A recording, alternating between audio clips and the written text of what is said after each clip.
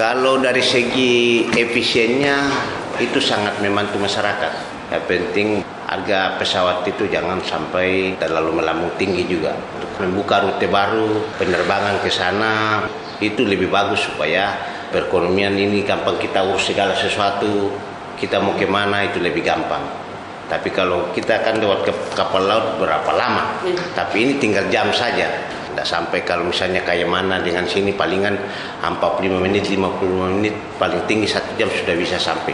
Dengan adanya rute baru ini ya akses kan lebih cepat daripada dibandingkan kita naik kapal laut apa semua berapa hari yang kita butuhkan.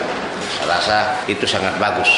meningkatkan roda ekonomi. Ya, salah satu juga faktor mempercepat urusan, membantu masyarakat.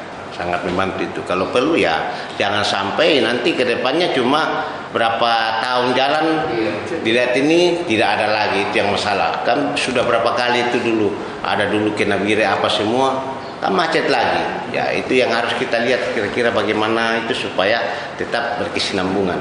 Diharapkan maskapai konsisten Ya konsisten lah dalam hal ini.